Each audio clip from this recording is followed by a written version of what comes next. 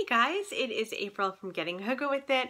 I wanted to share with you the books that I am hoping to read this summer. I've got quite a list here. I've got one, two, three, four, five, six, seven, eight. I've got nine books here. I probably won't get to all of these, but these are the books that are kind of calling my name for the summer. I want to read so many thrillers. I'm in a real thriller mood, and there's something about summer that I just drawn to them. So let's get into it.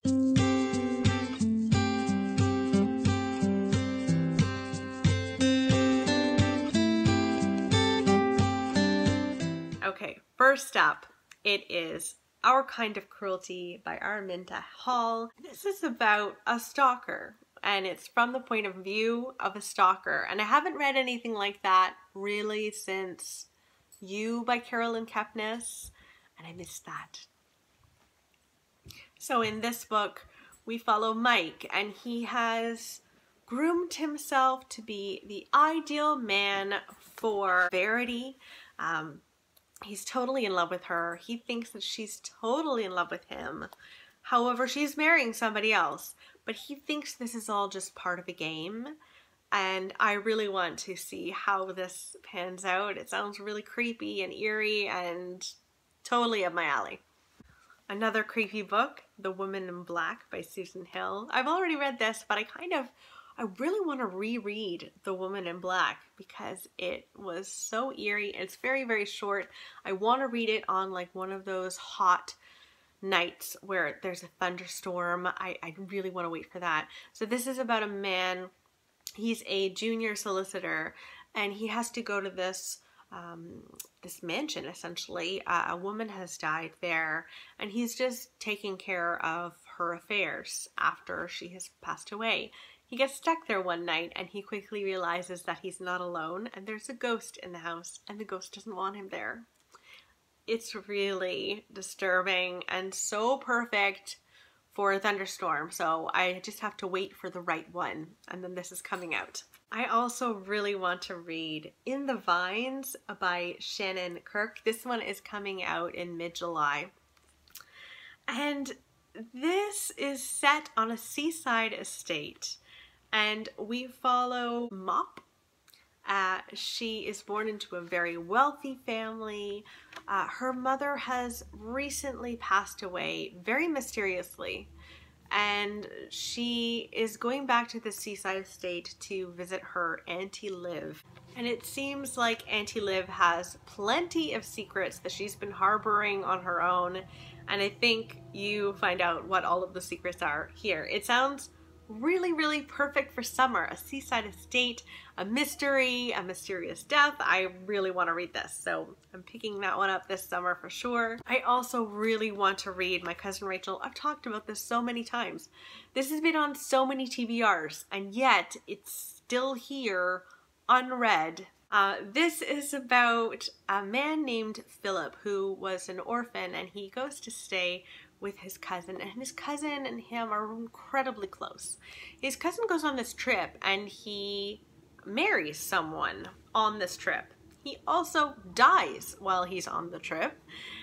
And uh, his widow comes to stay at the estate where Philip lives. And her name is Rachel. And he starts wondering, oh my goodness, did Rachel somehow you know, kill my cousin. What in the world is this woman about and is she dangerous? And I really want to find out if she is or not. Okay, so we've had a lot of like creepy reads. Uh, next, I also really want to read Eleanor Oliphant. It's completely fine. Everyone who has read this seems to have loved it. This is about a girl named Eleanor who is okay with her life. She goes to work, she goes home, but on the weekends, she drinks a lot. She's not entirely doing well. And in this book, she meets an elderly man who has fallen. And this guy from her IT um, staff in her in her company that she works for and the two of them help this old man and they create this friendship together and I think it's about their story. I'm really excited to meet Eleanor. Apparently you fall completely in love with Eleanor and I can't wait. I would also really like to read The House Swap by Rebecca Fleet. This is a thriller about a couple whose marriage is not doing very well. They decide to like have a little getaway. They do house swap. They get in. Their marriage still is not doing great while they're there. Uh, but the woman in this couple named Caroline, she starts to see little things in the house that seem like they were put there for her. The songs that play um, in the CD player are definitely relevant to her. Even the flowers that are chosen at this at this home are her favorites, and it just seems like someone knows her. Someone might be there I don't know if someone is also living in the house with them in a creepy way, but that's what I'm hoping happens. I'm hoping that there's somebody in the attic living there that she knew, oh, I want it to be a horrible ending, like something horrible like that. And I don't want anyone to live. I also want to read Behind Her Eyes by Sarah Pinborough. Plan is to read this very soon. Who knows if that will happen?